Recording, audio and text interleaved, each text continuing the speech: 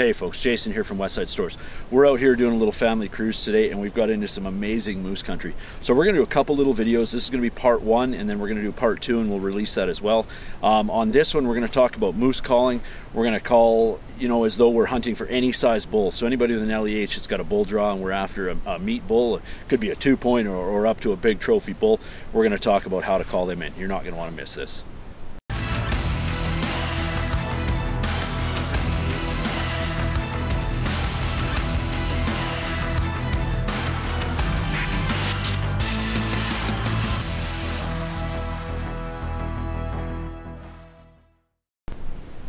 Okay, so we're out here, we're in, in some gorgeous moose country. We've got these spruce trees all around. I mean, any of us diehard moose guys, I mean, you can smell this country. You just know that they live here. Um, so what we're gonna do today is we're gonna talk about calling in a bull.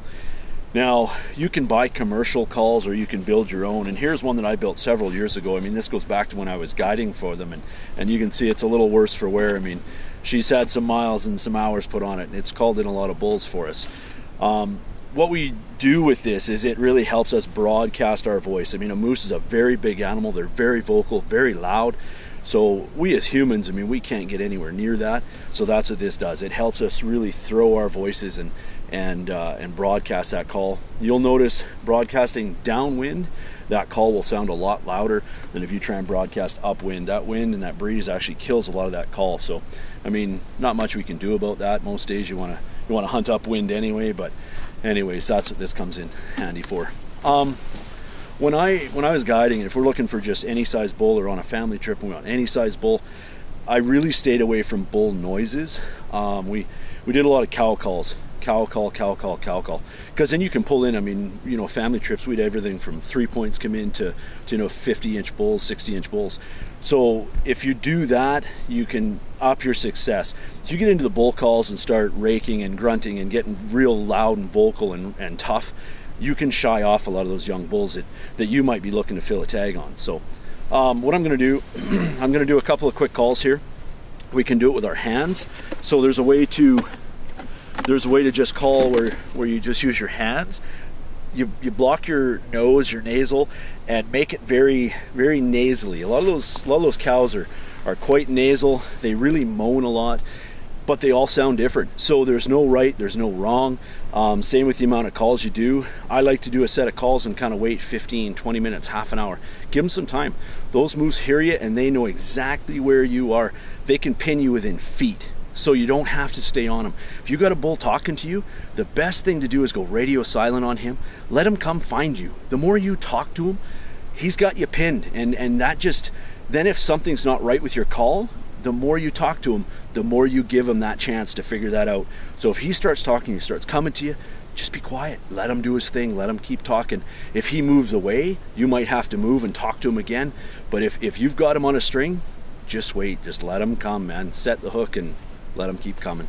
So, first off, cow call, block your nasal.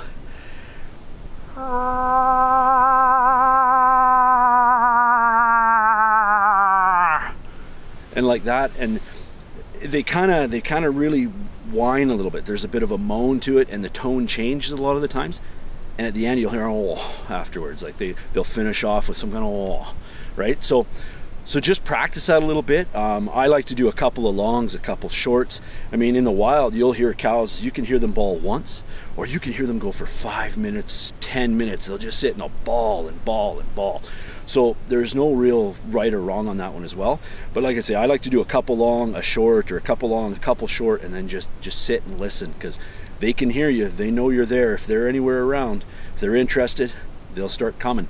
And sometimes they can come very quiet and all of a sudden they'll start talking at tree line or you can hear them way off. And they sound like a little wee frog like a tree frog and it'll get louder and louder and louder. Man it's pretty exciting. So i'm going to grab the call here and i'll do one call with this and we'll broadcast that